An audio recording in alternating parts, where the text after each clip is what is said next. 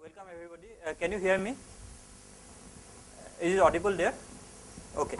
Uh, so this, uh, so you must have seen that this is uh, this. Uh, I mean, this school has uh, six lectures.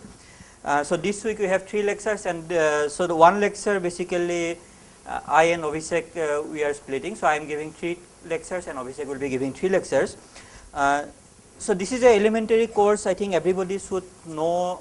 Uh, I mean, everybody doing StatMech should know this thing. So that's why these lectures. Uh, uh, I mean, we have included in the school, and uh, in the beginning, actually, something might be too elementary. You might already know, uh, but I think it's better to start with something you should always. I mean, you should probably already know. Okay. Uh, so this is this topic is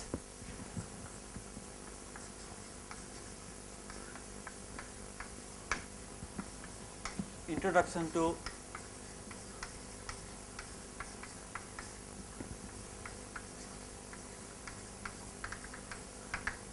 processes. So, uh, so I'll give three lectures. So, uh, first lecture, I'll start with something on uh, basic probability theory and uh, right. So, basics. And then second lecture will be on uh, Brownian motion.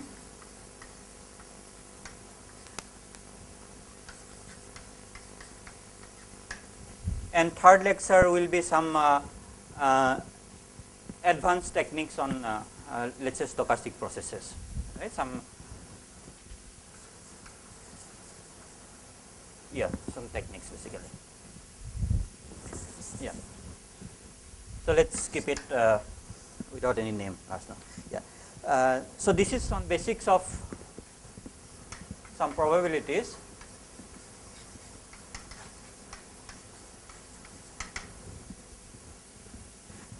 So I guess everybody know what is a probability, right? Or what is a random variable? Do everybody know what is a random variable, right? So this, so what is a random variable? So it's something which value is not fixed, and it this value basically changes depending on outcome of some trial, right? So let's start in a example.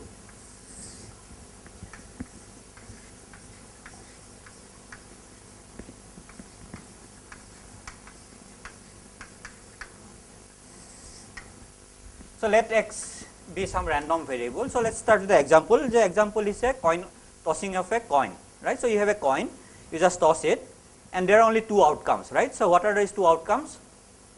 So it's either it can be head or tail, right? So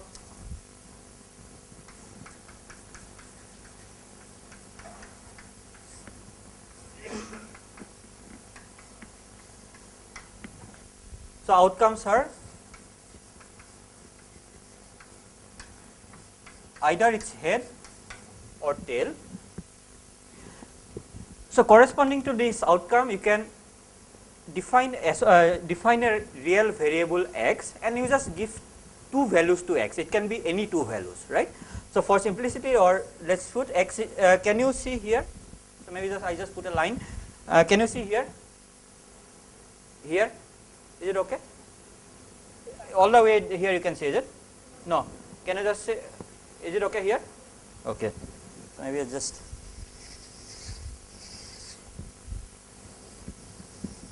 Okay, something like okay. So I can define some variable x. So it takes two values. So let this value be let's say plus one and minus one, right? So plus one if outcome is head and minus one if the outcome is tail, right? Uh, but this is not the only two possible values you can assign. So, you can assign any two values. Right? For example, you can define again a random variable x which is 0 and 1 if head and 1 if tail or any two values a1 and a2 right. So, this is called a random variable and this is an example of a real random variable and it so this is an example of discrete random variable. It can take values from a discrete set, right. So another example would be if you just uh, roll a dice, right. If you roll a die, how many values it can take? So it can take 6 values. Similarly, you can define a random variable x which can take 6 values, let us say 0, 1, 2, 3, 4, 5, right, or 1, 2, 3, 4, 5, 6, depending on the value on the die, right. So corresponding to this random variable, you can associate something called a probability, right. So what is the probability? So you see that probability of x is equal to 1, let us take this example. Is plus 1, it has some probability, let us call it p, right, and probability of minus 1, it is q, right. So it has to satisfy some rules. So what are the rules it should satisfy? So first of all, probability has to be positive, right. So these probabilities are positive positive definite, right? It can be 0 or positive number. And so what is the other property? So it should be normalized. So normalization means if you just sum over all outcomes, so it should give you 1. Right? For example, in this case, coin toss case, it just says that p plus q equal to 1. Right? So in this case, it just says p plus q equal to 1 right this is normalization and this is the non negativity right uh, so these are example of discrete random variables but you can also have continuous random variable so imagine you have you have this chalk and you just roll the chalk right? So you can just imagine you have just put a line here and you can just roll the chalk. It will come to a rest at some point right? So, you can define another line which is the chalk touching the plane. And you have one line which is basically a reference line you have drawn before. So, you can define an angle theta, you can first define a sense of the angle. Let us say I just define an axis and then I will just go in one direction. So, you can define an angle theta, so which will take value between 0 and 2 pi right. So, this is a case of uh, example of continuous random variable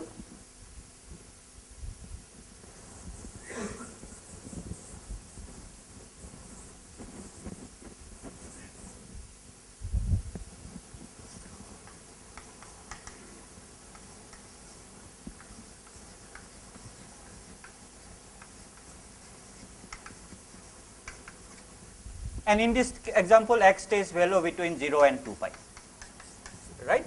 Corresponding that you can define again a probability but since it is a continuous random variable so what you say that you define something called probability density.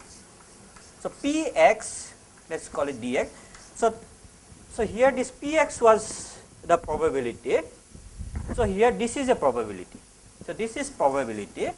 So it says that so, this is the probability that the x takes value between some value x and x plus dx right.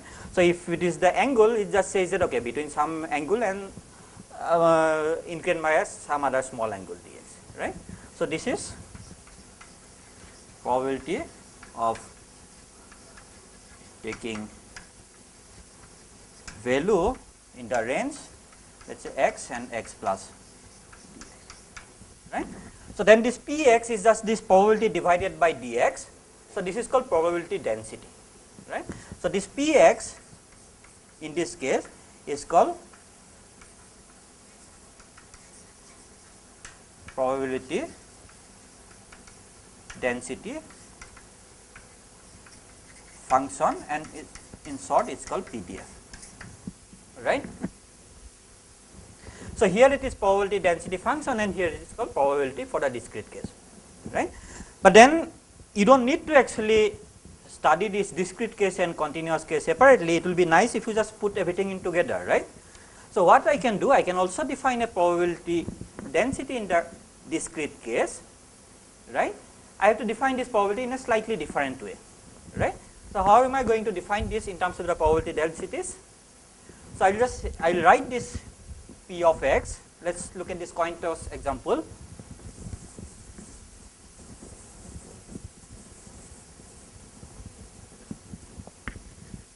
Right. So, So, I will write p of x as equal to, so I will just take this example, right. So, it says x can take value only plus 1 and minus 1. It takes value plus 1 with probability p, right. So, I will put some function here.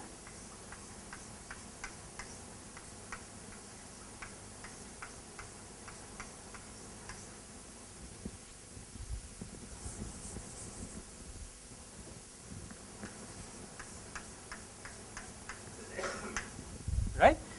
And what are these functions? So, these are called Dirac delta functions, right. So, what how do you define a Dirac delta function? So, it has this property that delta x minus a this is equal to 0 if x not equal to a and delta x minus a f of x if you integrate over dx this will give f of a right. So, with these two properties you can define this Dirac delta function right. So, Dirac delta so now given this one so this basically I can just write in terms of the continuous probability density function here this left continuous it is a probability density function p of x here right. So, there p of x was the probability so I have just written in terms of the probability density function. So, this is useful because then I do not have to tell okay this is a discrete case I will consider probability this is a continuous case I will uh, consider probability density function instead of doing that I will just take uh, x to be always a continuous random variable right. Uh, so, now so far I have been talking about only one random variable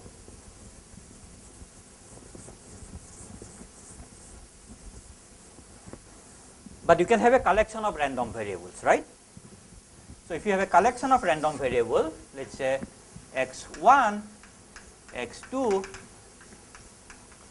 xn, let's call it, right. If you have a collection of random variable,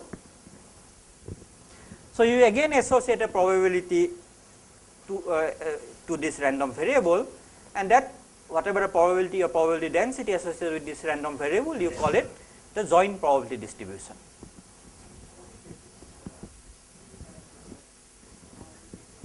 this one. Uh, see what is a uh, what is a uh, Dirac delta function, right? So, so in this discrete case, so if I write x as a function x and px, right? These are my probabilities. So it says that at minus 1 it has a value q at plus 1 so, this value is q and this value is p, right. So, this one I have changed it to some other function. So, this other function is something like, so what is a Dirac delta function? So, Dirac delta function is something which is very sharply picked. So, this one I have just replaced it with something like that, right. So, imagine this function is continuous, but it sharply falls to 0 away from this point, right? And I have replaced it by that and then in the limit this width goes to 0, right? So, if I just multiply by dx and the height of this thing, so that is basically 1 and then I have put a prefactor of p there. Similarly, this if I just multiply this multiplied by dx, so that gives me 1 near the peak and then this uh, prefactor of q basically, right? Okay. So, now yeah. So, now if I have a collection of random variable, I define something called joint probability distribution.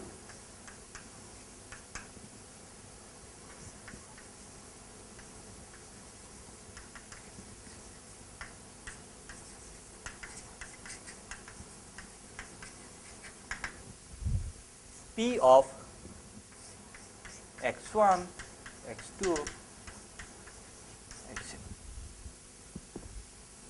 So, this is also a density in the sense that if I just multiply by a volume element, so my volume element will be dx1, dx2, dx3 uh, up all the way to dx10, right. That is the volume element in n dimensional space. So, that will give me the probability. The probability that this uh, whatever the process takes values between x1 and x1 plus dx1, x2 and x2 plus dx2 and so on, right. So, this is a joint probability density function and uh, yeah.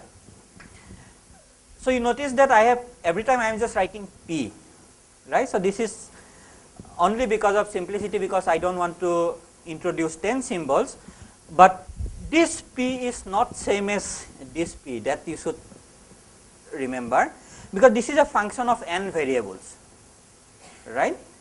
So, in principle I should write some p sub n or something like that it is a function of only one variable right.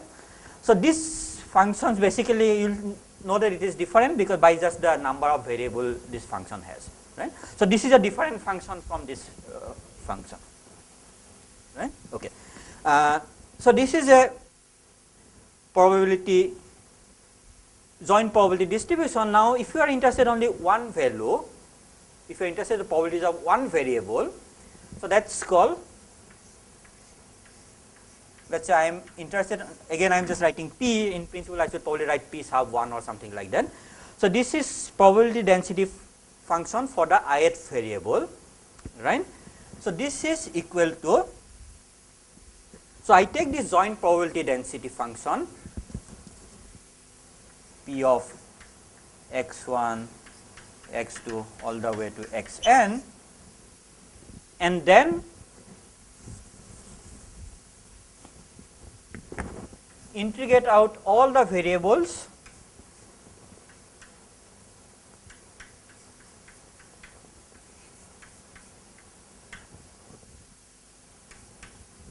except the ith variable right. So, this is also called the marginal right is just the basically or so this is just the probability. So, if you just integrate out some variables whatever the remaining one is basically called the marginal right. So, this is the probability density function for one variable for similarly if you want to interested in probability density function for two variables right let us say x1 and x2. So, what you will do you will just integrate out the all the other variables from x3 to xn right. So, if you have the joint probability density function it has full information it contains full information and if you are interested in only one or two variable you want less information right. So, you just integrate out the other informations. Okay. Uh, yeah.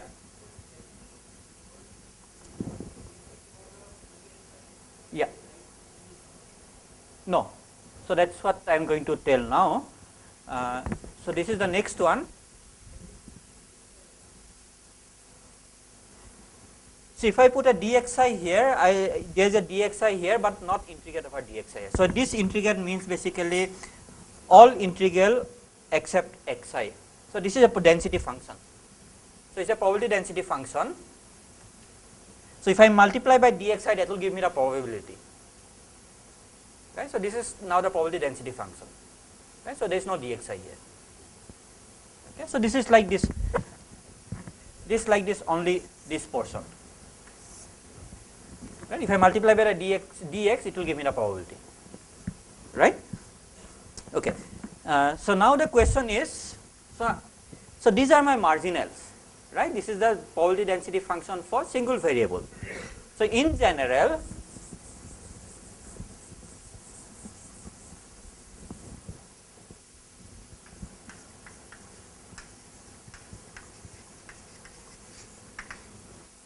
P of x1, x2, xn is not equal to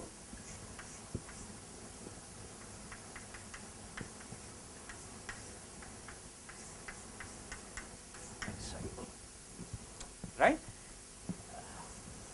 You can also put a subscript i.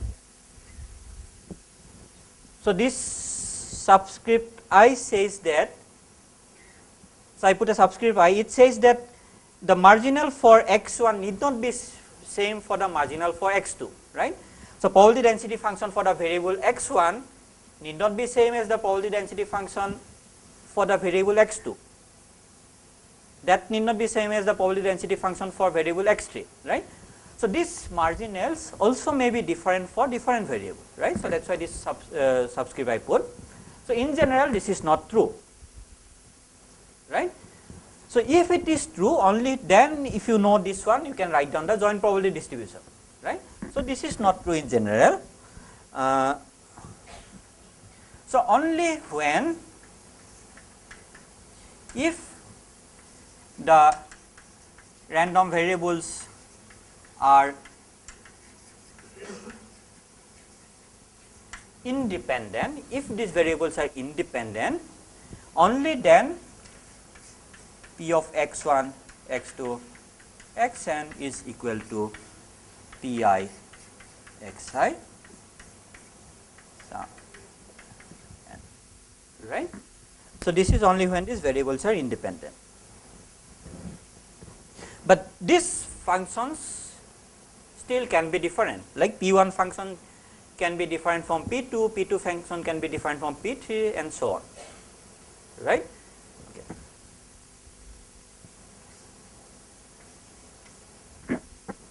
So, if these variables are identically distributed, right, it says that if these functions are same, so that I can just remove this subscript i, right. For a random variable 1, whatever the probability density function is same as random variable let us say 5, right. So, all random variable has the same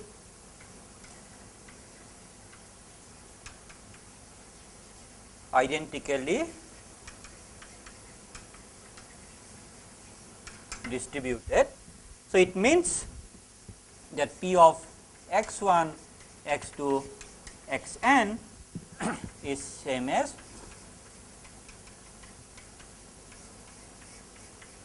right. So, this function is same. So, I just drop the subscript i right. So, all random variables have the same probability density function right. So, if this and this true then you call these random variables are ident uh, independent and identically distributed random variables. Right? If the condition a and b are true then you call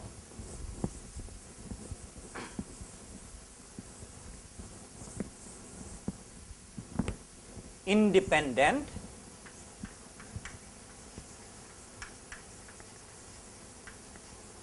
independent and identically distributed and identically distributed.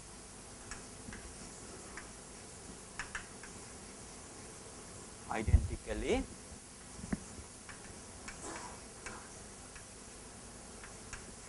distributed IID random variable.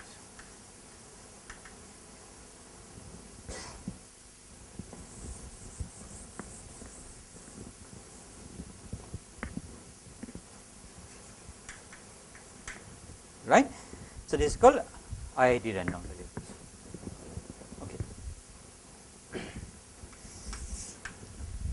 Uh,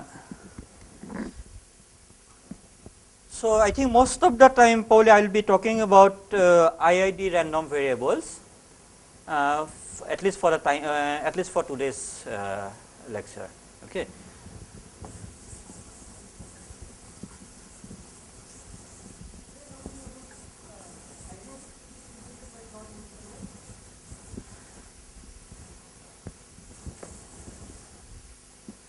Yeah.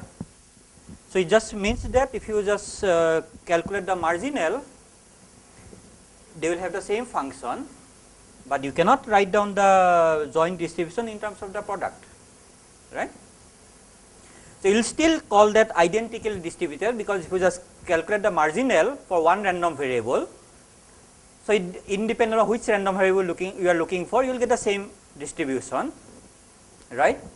But they are not uh, uh, independent right. It says that you cannot write down the joint distribution as a product of the individual probability density functions.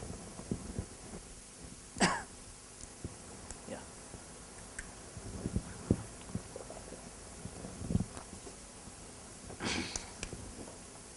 Okay. Yeah. Right. So, if you have a yeah, so maybe we will just come back to the this thing in the tutorial, right? Because uh, uh, I want to finish something today's this thing, and whatever left over this thing, we'll just do it in the tutorial. Okay. Uh, So now something called expectation value. So what is expectation value?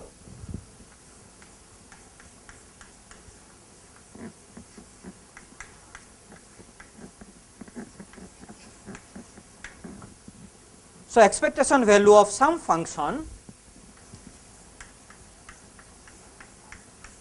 of a random variable x is defined by so f of x. So I am going to use this symbol now, right. So this is defined as f x p x dx. Right. So this is the definition of expectation. So this integral means basically over the whole range. It's uh, mi in, minus infinity plus infinity, basically, right. So I am not uh, putting the limit. Uh,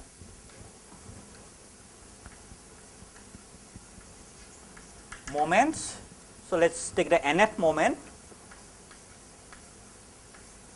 So it is a special kind of expectation value where this function f of x is x to the power n, right. So this is just x to the power n px dx, right. Yeah. Uh, and I am going to define something called characteristic function.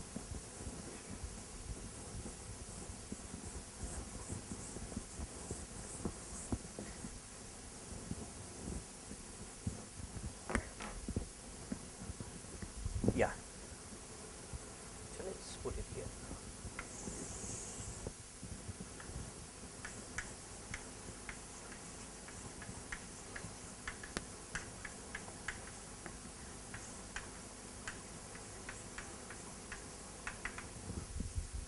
So when your random whatever the function is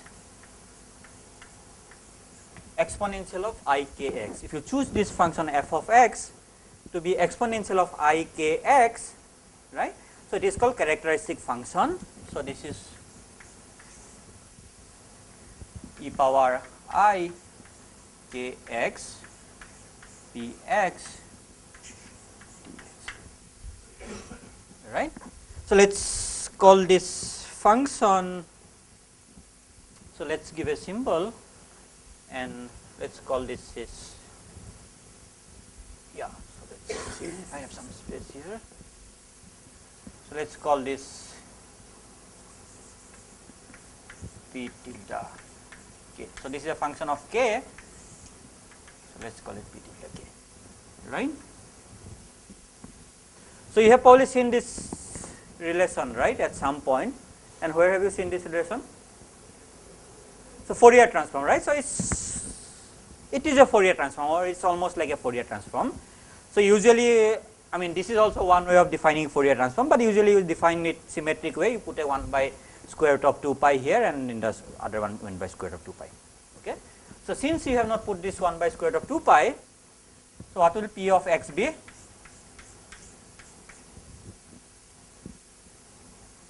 You know the Fourier transform with a 1 by square root of 2 pi, right. So, now for this one what will it be? Huh? So, you have to just put 1 by 2 pi, right, e power minus i a x p tilde x So, this object p tilde k and p of x they contain the same information, right. So, in different space. So, sometimes this is convenient to evaluate, it is more easier to evaluate this one than the other one, right. So, this is a very useful uh, object. Okay. And uh, so, it should follow some, uh, there, should, there are some properties it should follow. So, one is if I put k equal to 0, what should I get? So, I should get 1 right. So, this is expectation value of 1 right or if I put x equal to uh, k equal to 0 here it is p x dx integral over x. So, that is the normalization right. So, then I should get 1 okay and uh, uh, so you notice that if I differentiate this object with respect to ik. So, anytime I differentiate with respect to ik, what do I get? Only I can dif I differentiate this object, right? So, each time I differentiate with respect to ik, there is a factor of x coming down. So, if I differentiate n times, so x to the power n will come, right? So, if I differentiate with respect to ik, uh, so that is same as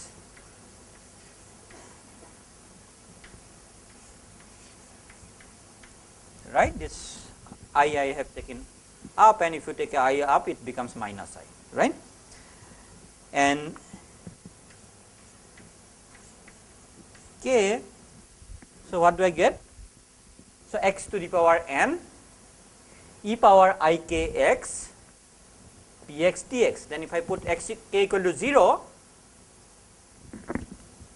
right? If I put now k equal to 0 after differentiating n times so what do I get so I get x to the power n p x dx. So, this is same at the nth moment right.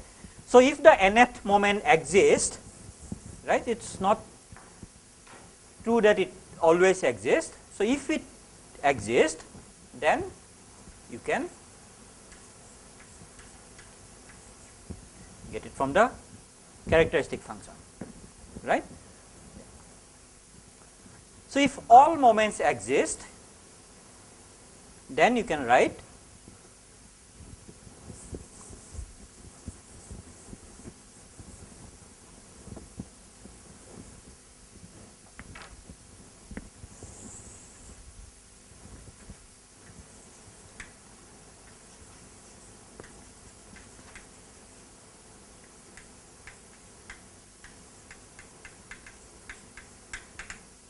if all moment exist then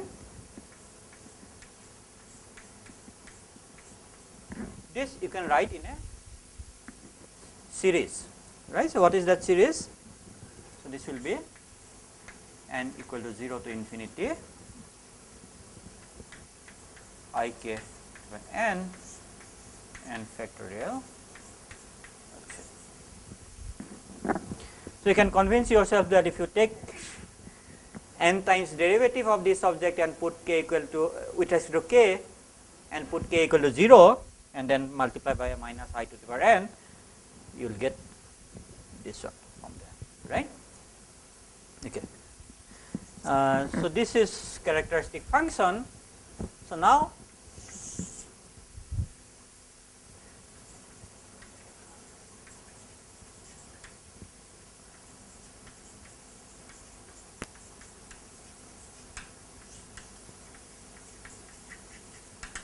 So, I am going to define something called cumulant generating function. So, it is almost similar right. So, this says that e power i k x. So, instead of writing as this one I just write in a slightly different way right. So, I write it right this is equal to exponential of some other function right now this g of k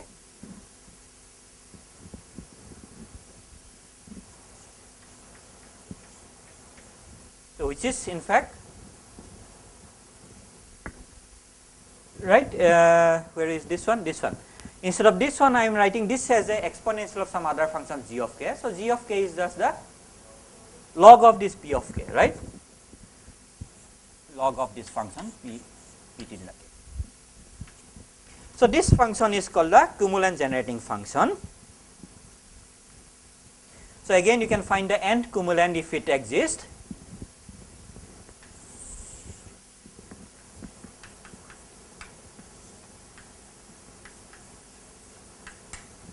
right.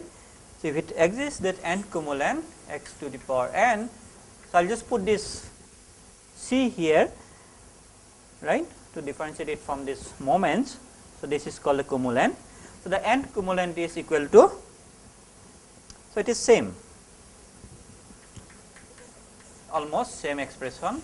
So, dn dkn, but this function is now g of k at k equal to 0 right. So, similarly if all cumulants exist I can write down a g of k in terms of the cumulants right the same way I wrote down p tilde k in terms of the moments right. So, I write down if all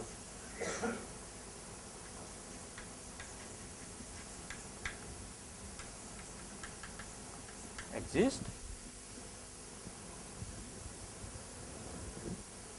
uh, so is equal to so how do you write? It's almost the same.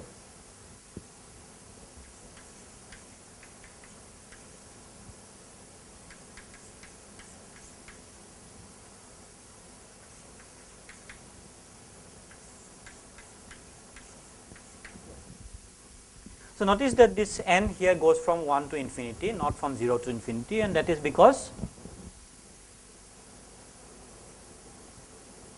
huh?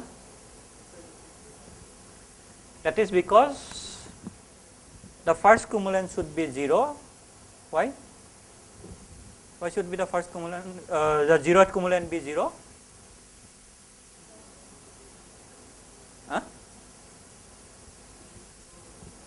zeroth cumulant whatever it means right? This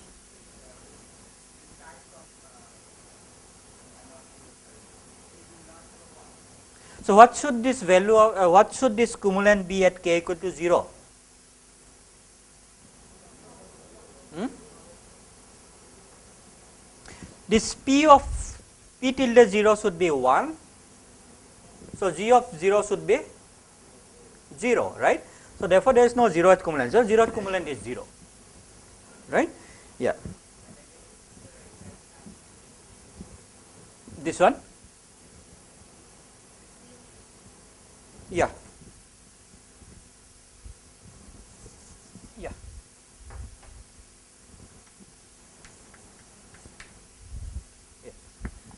So, this k equal to 0, it should be 0. Okay. Uh, so, now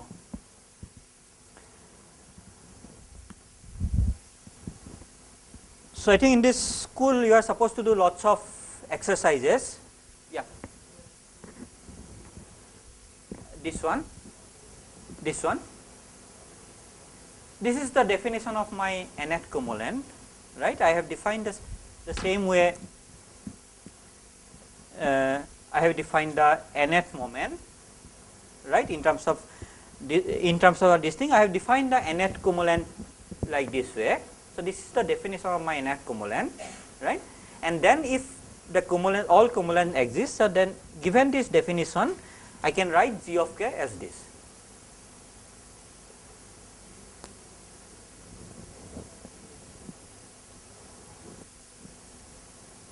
But I have not told you what is a cumulant, right? I have not, so I am defining the cumulant by this uh, expression, right? So, here I have told you what is a moment by this so, this was a definition of the moment, right. So, given this definition this is true, right, but so far I have not told you what is a cumulant, right. So, I can take this as the definition of my cumulant, right, this is the definition of my cumulant. Given this definition now, right, if all cumulant exist then this I can write in the series of this cumulants, right. Right? So, this you can just take it as a definition of cumulant. Uh, yeah. So, now see if I do all calculations now you are not going to learn. So, I am going to give some exercises so that you also do some calculation right. Uh, so, these exercises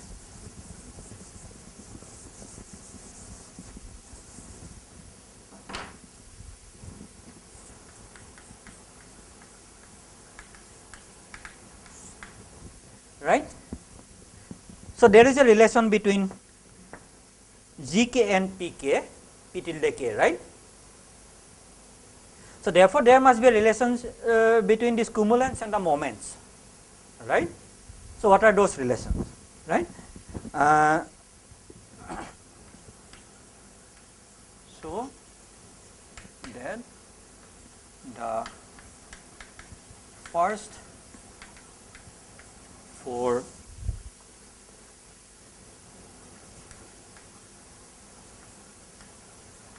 cumulants are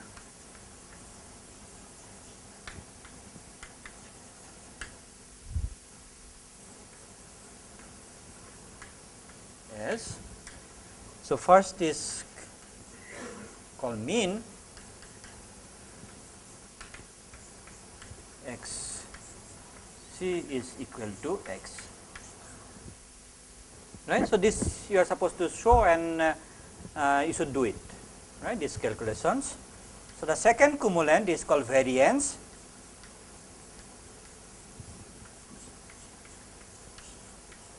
This is x so let's write the variance in a different way. X minus x whole square x, x. So the second cumulant is called variance.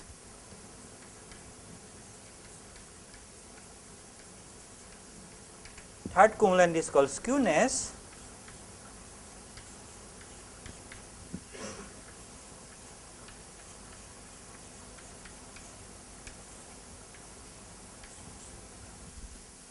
right?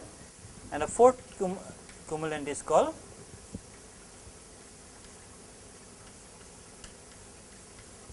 kurtosis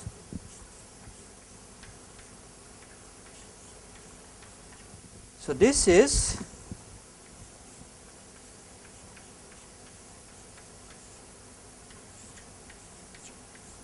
four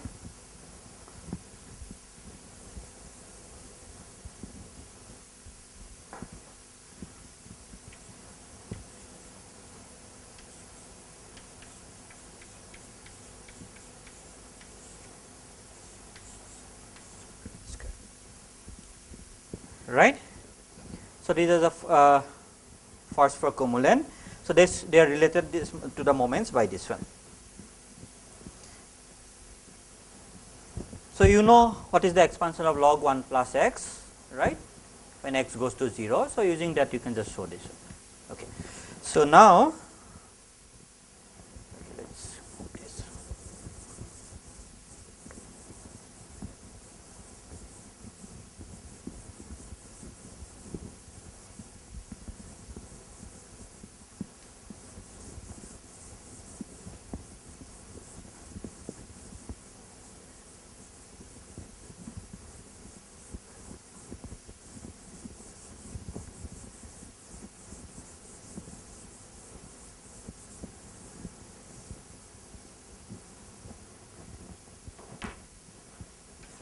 Yeah.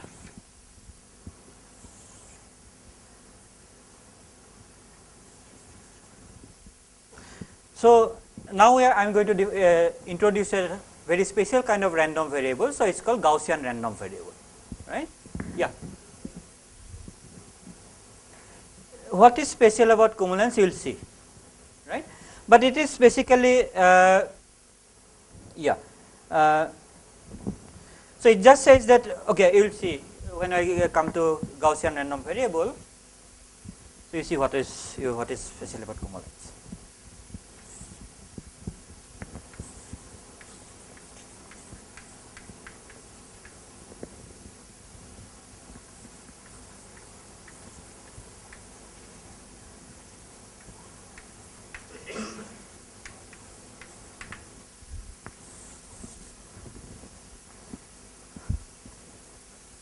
Okay. So, Gaussian random variable x with mean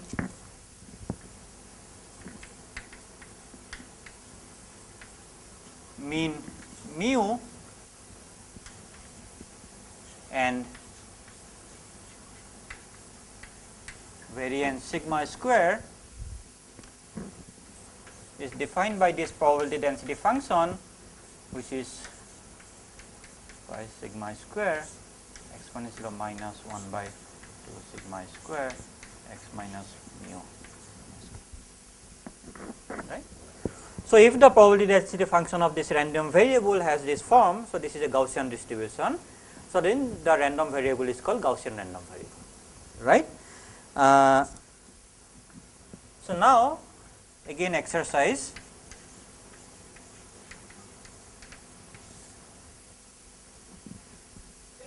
So compute the characteristic function for the Gaussian random variable.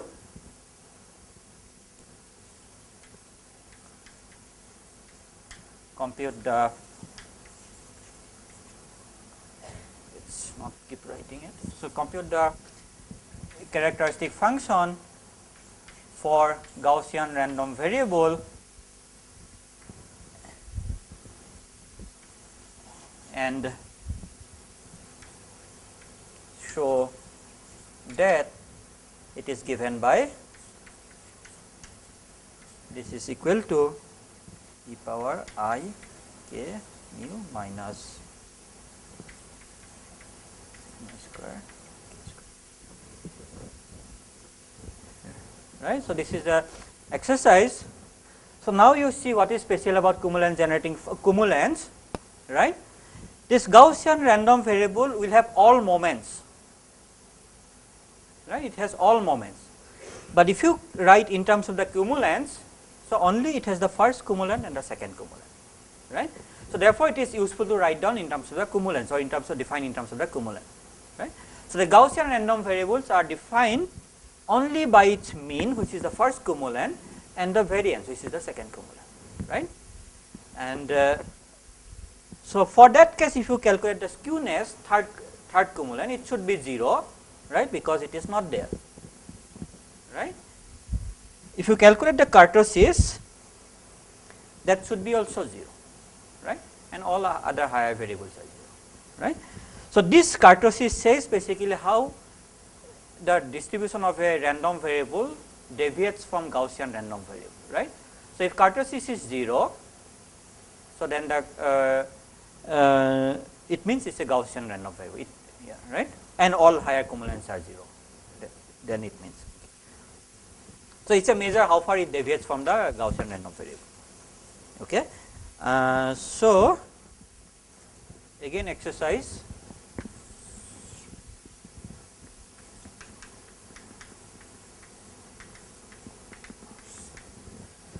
uh, what is this okay so it's let me just write it here only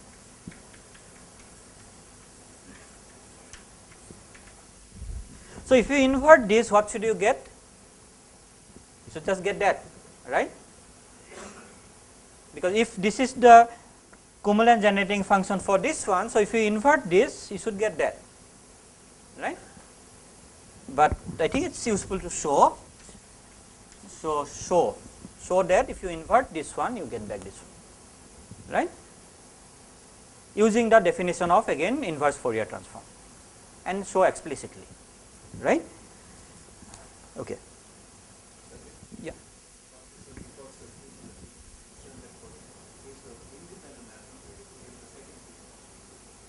Uh,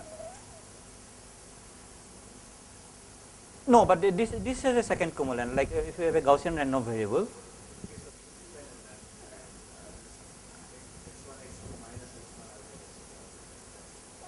No correlations are yeah yeah uh, no, but second cumulant for a uh, single random variable will be non-zero, right? You can have a Gauss. Ah, now I'm saying that the there's a cross correlation. Yeah. So if you write down, you can see what uh, this Sushanta is saying. See, these so far I'm just defining single random variable. Right? It's like a cumulant moments for single random variable. Similarly, you can define moments or cumulants from the joint probability density function, right? So, then that cumulant generating function will be a function of k1, k2, k3, kn, right? Right. So, then you can define also a, a cross cumulant, right? x to the power n and x1 to the power n and x2 to the power m, and then that expectation value by this c, right? But uh, so far what I have been doing, I am just it's a single random variable now, right? So yeah for the time being I'll just concentrate on the single random variable. Yeah. Uh, so now yeah. So now as I said this Gaussian random variable is defined only by mean and variance. So sometimes therefore it is useful to write in a other way. So, this x you can therefore write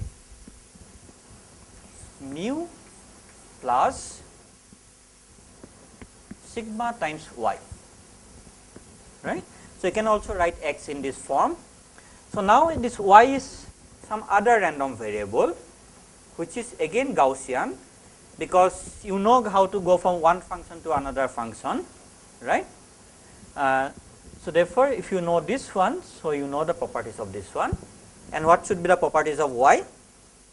So, the mean of y should be 0 right because if you calculate the mean of x, so this is equal to sigma mu plus sigma times y since mean of y is mean of x is mu, so mean of y must be equal to 0 right. So, therefore, it just says that mean y is equal to 0. So, what about the variance? So, this is equal to so you can again calculate from that one right. So, let us look at x square. So, this is mu uh, let us not do it this again exercise right. You just square it and then take the expectation value x square minus x average square right. So, it says that y square is equal to 1.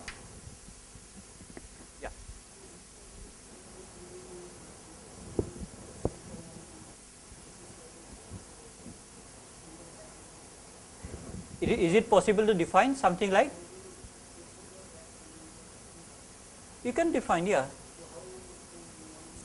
I mean it is just uh, this definition, no? I have written uh, the definition of uh, this thing, right? x to the power mu px dx.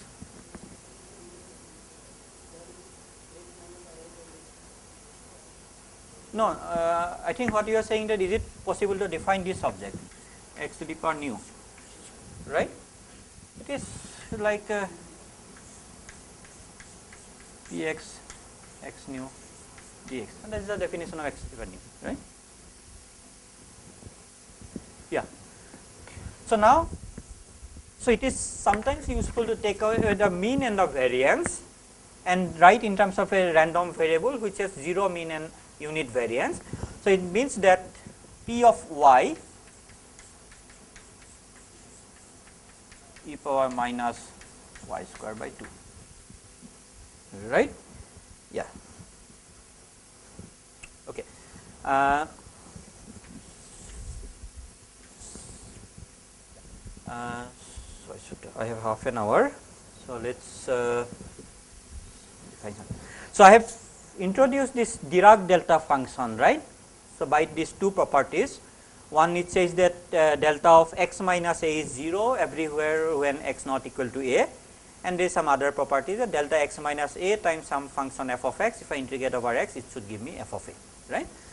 Uh, so Dirac delta functions are usually you can write by some representation and one representation is this representation in the limit sigma goes to 0 right.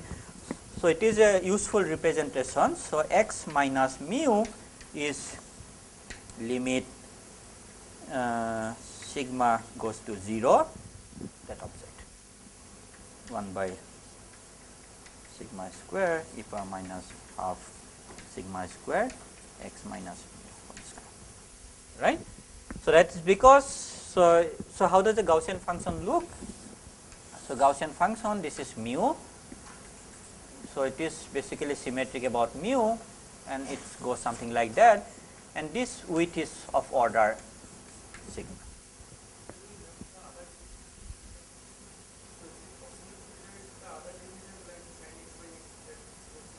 See, the, so, so so the, the, definition of delta function is basically given by these two properties I have shown. So, it can have lots of representation. So, one representation might be just instead of this you can just take a box right and this is uh, whatever 1 by this is a this is 1 by a and this box this is a and in the limit a goes to 0 that is also a delta function right. So, there is no unique definition of Dirac delta function. So, you just use whichever definition is useful for your context. It is possible to connect uh, representation by their definition right delta x minus a uh, goes to 0 for x not equal to 0. See this function and this function looks they are quite different when a not equal to 0 or sigma not equal to 0 right. So, all it says that sigma goes to 0 or a goes to 0 these two function looks almost similar because it is very highly peaked around this function this width goes to 0 this becomes very highly peaked. This width goes to 0 this this height goes like so this height goes like 1 by sigma right? This is 1 by sigma height right? So this height goes to infinity. This width goes to 0 so in that sense this and these are similar. I mean in the limit uh, uh, sigma goes to 0 or a goes to 0 in the same way if you take the sin x uh, representation or any representation right? So in that sense. But you cannot go from one function to another function you cannot go from this function to that function these are quite different functions right yeah uh, so now so this is one definition and uh, also I have told you that this is so this is a this is the characteristic function of Gaussian random variable.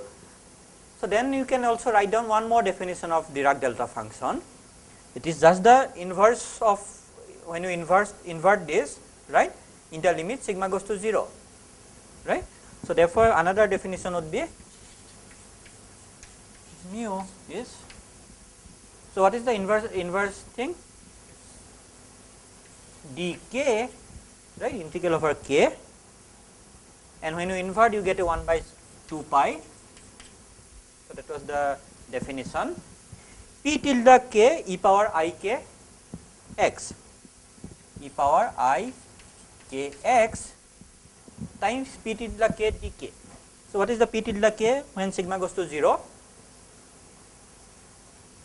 It is only this part, right. So, therefore, this is so this is minus now because when you define the characteristic function it comes with a plus sign.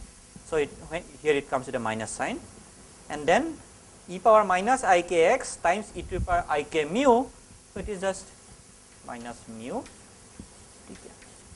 So, therefore, this is also a representation of Dirac delta function right. Okay. Uh,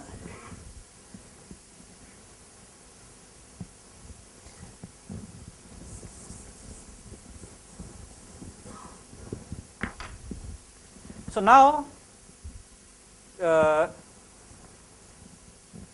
so this is about this single Gaussian random variable. Now if I take n of them and just add them, what do I get? Right? Sum of n Gaussian random variables. Gaussian random variables, right? Let's call y is equal to xi, i goes from 1 to n, and uh, so this uh, mean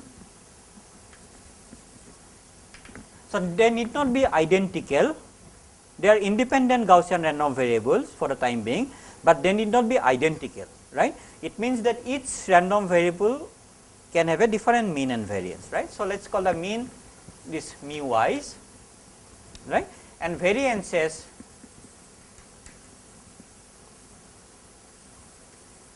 sigma i square. So, now I want to find out what is the distribution of y right. So, I have introduced something called uh, something called characteristic function right that is very useful. So, I just need to calculate the characteristic function of this object i k y right. So, this is equal to i k sum over x i. Let us put a j here because this i I am using for this imaginary i right? Yeah. Uh, yeah. So but these are independent random variables right? So therefore this so when i calculate this expectation value so their joint distribution factorized to the independent distribution right? So that means this expectation value they also factorize i k x j but I know this expectation value, right? Because I know that for Gaussian random variables, the uh, one is defined by this one, right? And I know this mu i's and sigma is for each random variable. So, therefore, this is equal to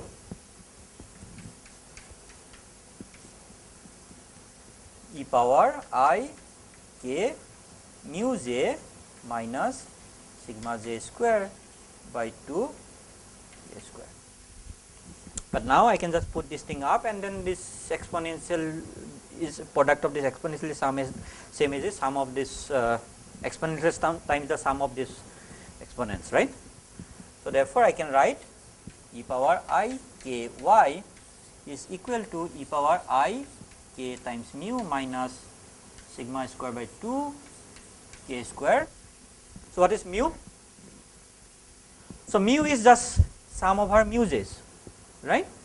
So, here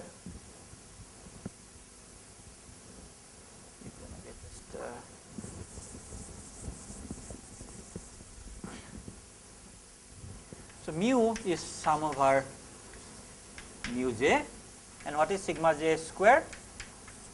So, this is again sum of our so what is sigma square? Sum of our sigma j square right. So, now you see that this is again characteristic function is similar to this one right. So, that means what? So, if I invert this characteristic function what will be the distribution of y?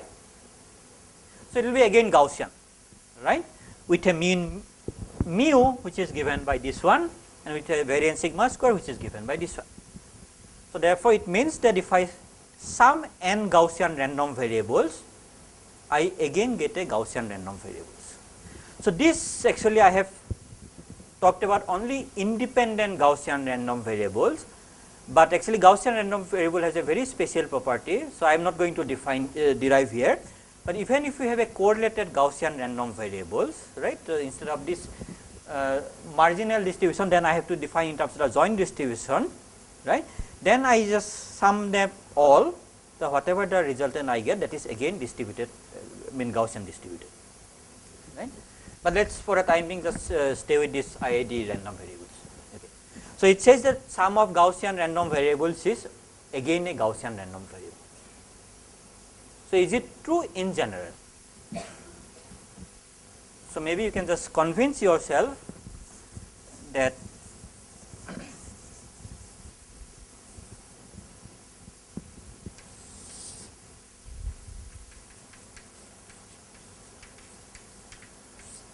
So, maybe sometimes it's just do better to do an example and just see that if it does not work then it is not true right. So, so, check, uh, check the sum of two random variables IID random variable which are distributed according to this distribution half e to the power minus mod x right. So, show that the distribution of so let us say x 1 plus x 2 y is equal to this. And this x 1 and x 2 they are uh, drawn from this distribution right? These are independent and identically ran distributed random variables drawn from this distribution. Calculate this sum right? Calculate the characteristic function and show that this is not distributed according to this right. So, in general the sum of two random variables is not distributed according to their parent distribution right. So, this Gaussian random variable is a very special case there are some other again distributions right, but this is one of the very special case uh, which has this property. In fact, this is the only distribution with finite variance which has this property. Right. So, this is the only distribution with finite variance which has its property. So, I will just uh, stay in the domain of this random variables with finite variance. So, these distributions like for example, this Gaussian distribution, so these are called stable distributions, right. Because if we draw some random variable from this distribution add them, again the whatever uh, random variable you get, so it has the same distribution as the parent distribution, you just need to adjust their mean and variances, right. Okay. Uh, now,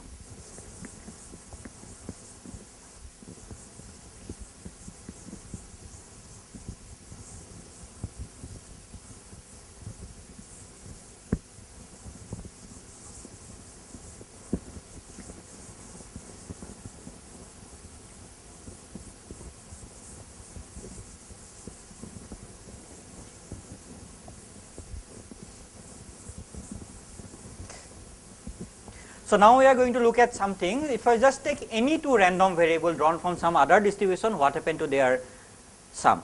Or not two I will in fact take many random variables and add them. And can you say something about their sum.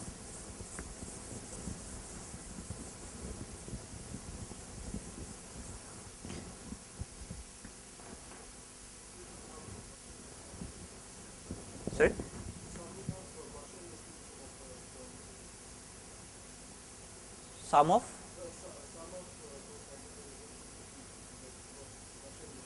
Which one? Which random variable? Yeah.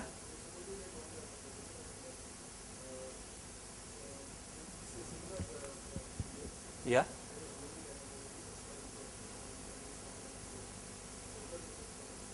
Yeah so what is the central limit theorem so if people yeah so that's what i am going to do central limit theorem but it is not so it's a very special limit. So one should that's what i am going to say. It's not sum of many random variables is gaussian. It's not correct. Right? So i'm going to see what central limit theorem says.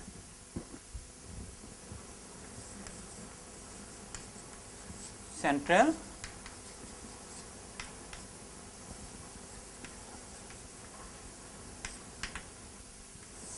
So, now I will take sum of n random variables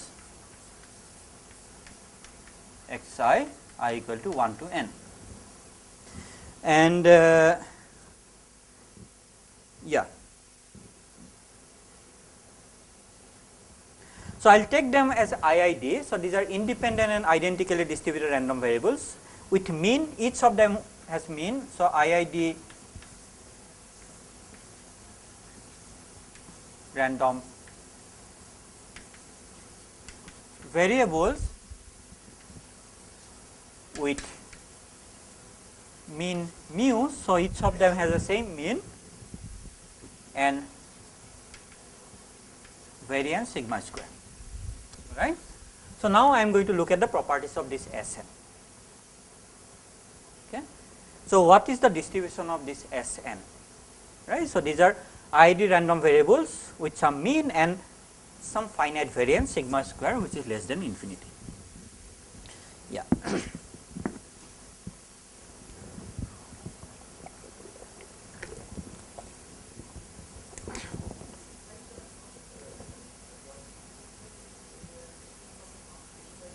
So, it is not specified fully, it can be any distribution. So, as long as, so they have the same mean and same variance, right.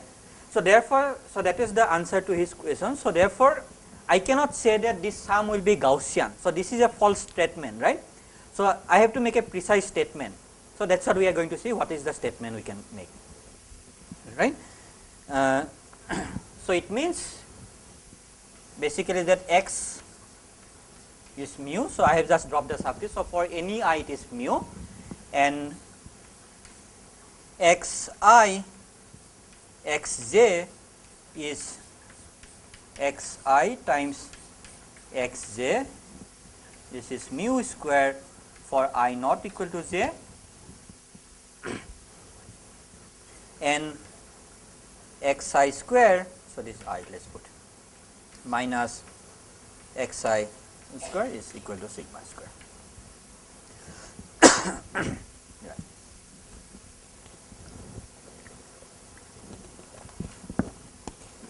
Okay. So, now, so I have showed you that at some point that uh, I in this x I have made it to uh, transform into some other random variable y. So, that is called basically you just rescale and define some other variable. So, it is useful to rescale things. So, this is what we are going to do. So, we are going to do rescaling. So, we are going to define some other random variable x. So, we are going to define by mu times sigma times wi right. So, or wi is equal to x i minus mu by sigma. So, you should check that wi is 0, it is obvious from this one, right. And also wi wj this is equal to delta ij. So, this is a Kronecker delta function. So, this is equal to 1 if i equal to j and this is equal to 0 if i not equal to j right. So, it says they are now uncorrelated with 0 mean and unit variance right the variance is 1 and they are uncorrelated random variable even right. So, now uh, so if you write this way so what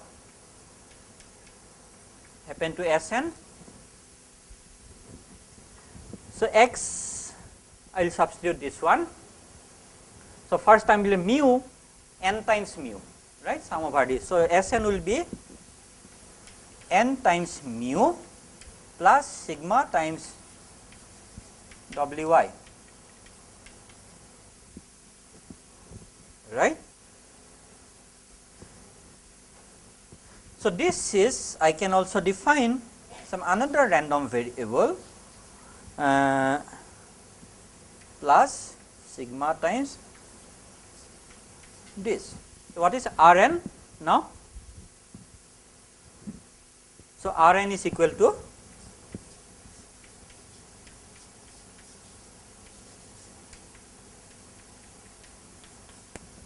right. So, this I have called Rn so, what is Rn? So, Rn is a sum of n random variables, IID random variables with mean 0 and variance 1, right. So, I have scaled out all the trivial thing like the mean and variance from the problem. So, now I have a problem with a sum of random variables with 0 mean and unit variance, right. Okay. Uh, so, it means then. So, now if I calculate the mean of Rn, so what do I get? So, this should be 0 and if I calculate the variance of Rn,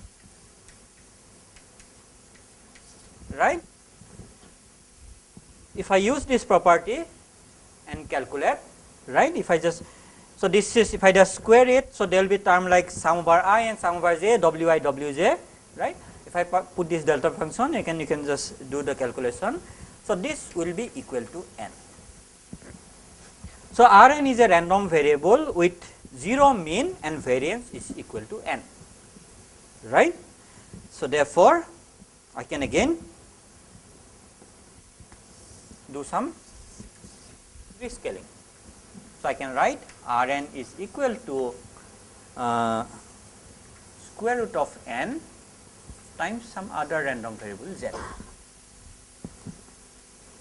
So, what should be the properties of z now? So, it says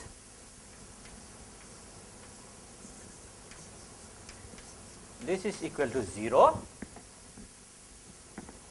right because mean of Rn is equal to 0 and z square average should be equal to 1 because the variance of Rn is equal to n right. If I just square this one this is already n is there so the variance of z should be equal to 1 okay yeah. So therefore uh, so Sn is equal to mu n plus sigma square root of n times z. So, this what I have done basically write down s in terms of some random variables. So, I have taken away all the information about the mean and variance in this factor right. So, I have some random variable z which has unit variance and 0 mean right. So, now I am interested what is the distribution of z if I can find the distribution of z, I can always find the distribution of Sn, right. So, now I, what I have to find? I have to find the distribution of z, right. So, you want to find the distribution of z. So, what is z? z is equal to 1 by square root of n times r n and r n is dy. So, I need to find the distribution of this object. Okay. Uh, so, if you want to find a distribution again first what are you going to calculate? So, how do you proceed if you want to calculate this distribution of z. So, first thing you will calculate the its characteristic function right. So, I am going to calculate the characteristic function of z. So, what is the characteristic function e power i k z right. The same way we have calculated for a Gaussian random variables right. So, I will just follow the same steps. So, what is this? This is equal to e power i k 1 by square root of n and then w okay let us call it j equal to 1 to n right but these W's are IID random variables, they are independent.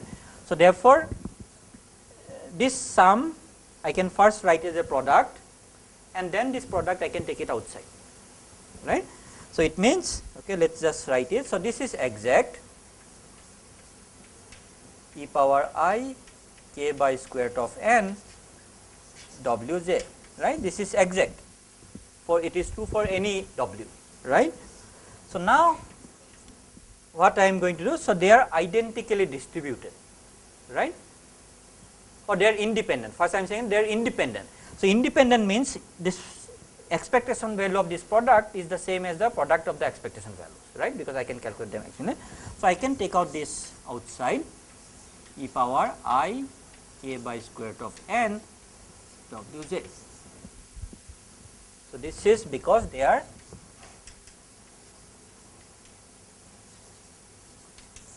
independent.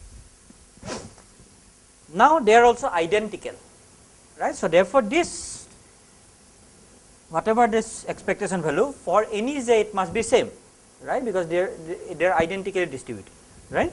So, therefore, this should be equal to go from here to there e power i k by square root of n w I have removed the subscript now right to the power n because they are identically distributed right? Yeah. So now let's come back to yeah let's remove here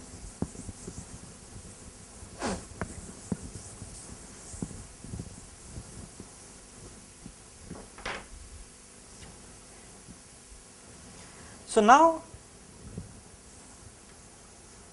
I know this is equal to what is this one? This is equal to 0 right. If this is equal to 0 and but what is the definition with respect to the characteristic function?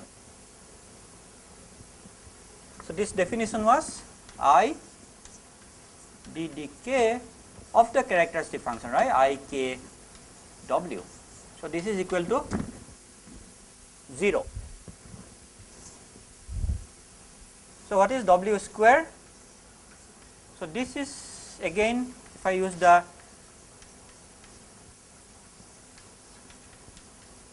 this is at k equal to 0, 0 this is equal to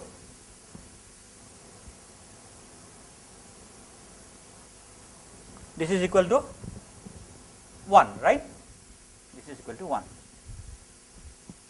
So, if I know these properties then I can write down if this ex, uh, expectation value when k goes to 0 right how are you going to write. So, therefore, e power i k w must have this form at k equal to 0 it is equal to 1 it is equal to 1 right? Then if I take a derivative with respect to k and then put k equal to 0 it is equal to 0 so it cannot have any linear term right? If it is a linear term if I take it one derivative with respect to k and then put k equal to 0 it will have a non-zero value right? Imagine this guy has something like mu k if I take a derivative with respect to k, so I will get mu. Now, if I put k equal to 0, I will have a non-zero value, right. So, therefore, it cannot have a linear term. So, there is no linear term. If I take two derivative with respect to k, I should get 1. So, what should be the term here then? So, it should be, it should have a k square term but if I take a one derivative there will be a 2 coming out right. So, it should have a k square by 2 right. So, this much I can say I cannot say anything about the higher order terms because I have not I do not know anything about them right.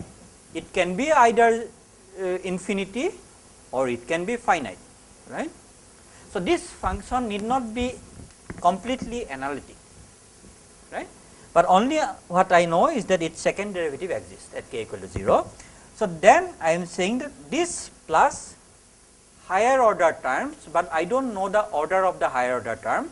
So, therefore, I am going to write something called a small o, right. Usually, you write this big O, right. So, small o k square. So, small o k square means small o let us say k to the power n it means big O k to the power n plus some epsilon where epsilon is greater than 0 right. It just says that this term is basically higher than order k square, but it can be fractional power it need not be an integer power right. Uh, so, now this I know because given that this mean is 0 and variance is there. So, I can just substitute here. So, what do I get? 1 minus k square by 2 plus order of uh, now here k is so this is for this object right? So now here instead of k i have k by square root of n. So therefore k square by 2n right? Plus order of k square by n to the power n right.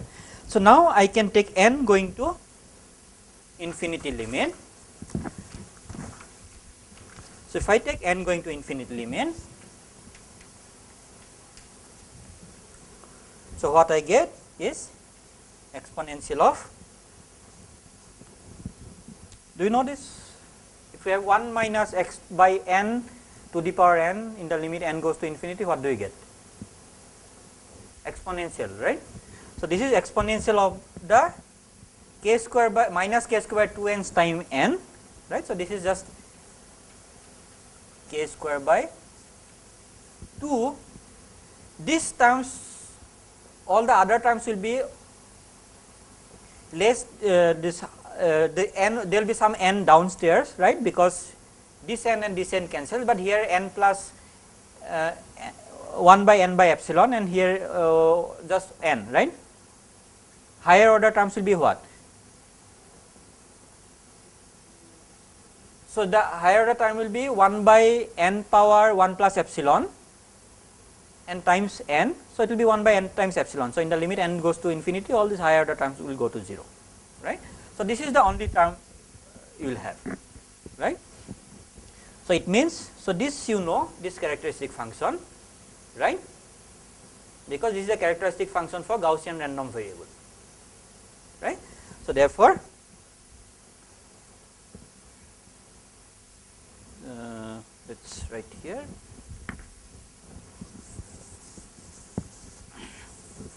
is that limit n goes to infinity p of z right. So, what is the definition of z? So, definition of z is this one right. So, limit n goes to infinity p of z is given by 1 by. So, what is the variance? Mean is 0. What is the variance? Variance is 1 right. So, then you know what is the Gaussian variable with Gaussian distribution with 0 mean n.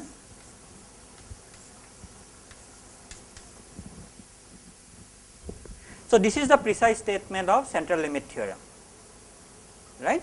So, now we will see what this means for the original random variable S n right. So, given this you can also calculate uh, transform it to this variable R n right. But now I am going to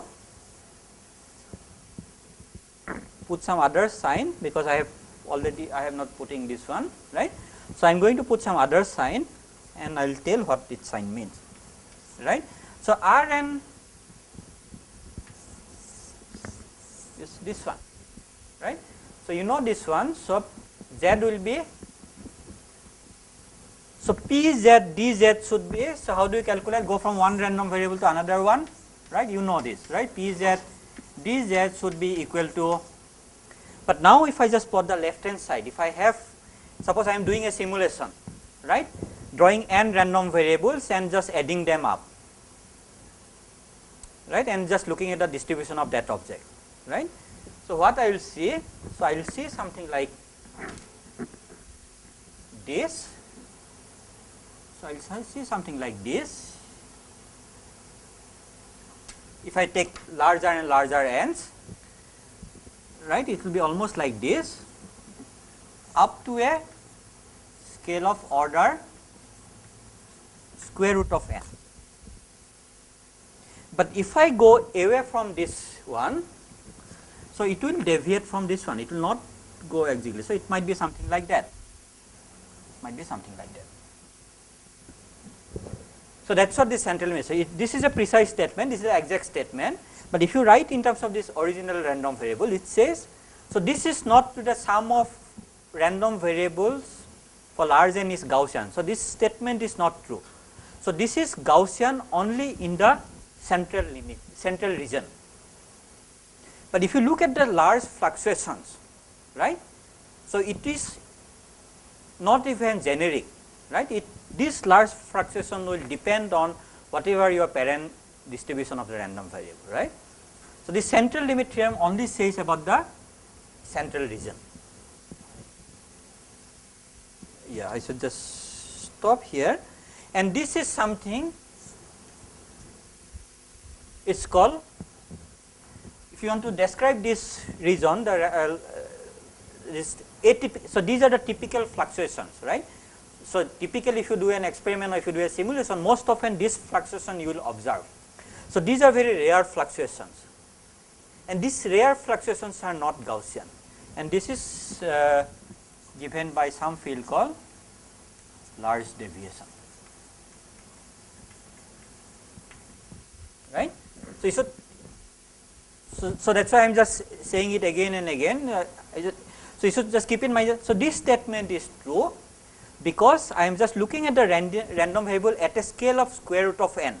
So, if I look at a scale of square root of n, so I can now choose my scale at what scale you are looking at. If I look at a scale of square root of n, then what I will see, I will see the Gaussian fluctuation. But if I choose a different scale, if I choose a scale of order n, right, if I look at a scale of n, so those fluctuation will not be Gaussian, right. So, that so, therefore, this this is so this is basically the statement of central limit theorem and yeah this is something called large deviation I was planning to do today, but probably I will not have time. So, I will just uh, uh, no I will uh, yeah. So, I will I will actually no I will uh, talk tomorrow. See this is just these are the typical fluctuations right this is the fluctuation most often you will observe but these are these large fluctuations. These are typical deviation, these are large deviation fluctuations, right this variable deviates largely from the typical values, right. So, this if you under this basically theory which you want to describe these fluctuations here is called large deviation theory, right. It's something called large, yeah.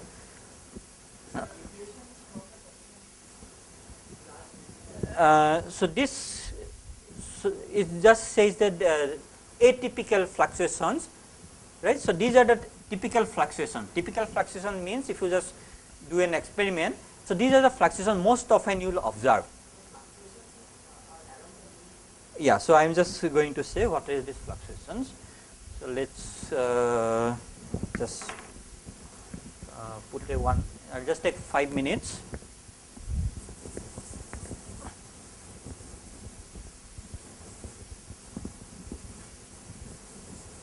So, you guys have done experiment and simulations right. So, how do you calculate something?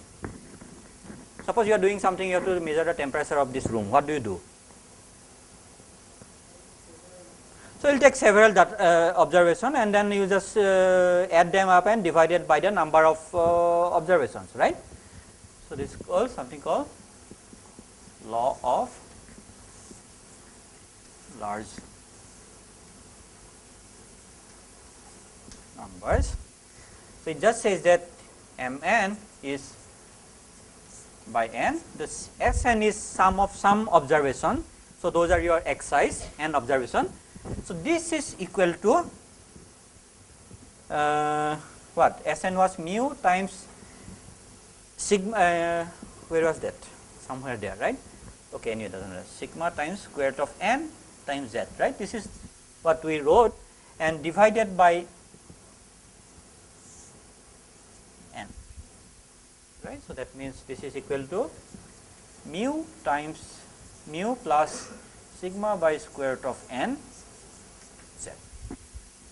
so, what is z? So, this is a random variables of order 1 right. So, it is a fluctuation if you just look at the random uh, variable x. So, this will be of order 1 right. So, now in the limit n goes to infinity n goes to infinity what do you get mn is goes to mu right. So, that is why you take many observation and add them and divide it by the number of observations right. So, it says that for large enough samples right the uh, sample average. So, this is the sample average right you just uh, average lots of thing and divide it by the number of observation. So, this converges to the expected value right whatever the temperature or pressure you are measuring. So, it should have some expectation value. So, it converges to that right. So, that is why you take many and many uh, uh, uh, realization and then uh, calculate and divide it by the number of realization. And what is the error here? So, this second term is the error right. So, you see that error goes like 1 by square root of n. So, if you plot a function or something if you plot it will not be exactly this thing it will have some other fluctuation around that uh, guy right. So, if you take and if you take many and so if, so it at each point. So, you are plotting something then uh, yeah. So, suppose at each point you are also supposed to put a error bar right. So, the error bar comes from defined one one is whatever the, your instrument has some error and because of that error might occur, but also there is an error which just comes from basically that you are not taking enough realizations. And this error bar basically goes like 1 by square root of n. Right? Yeah. So and yeah so what was the question? There was some question. Yeah. Yeah ah so there is something similar to again central limit theory. Uh, so maybe yeah i'll just take uh,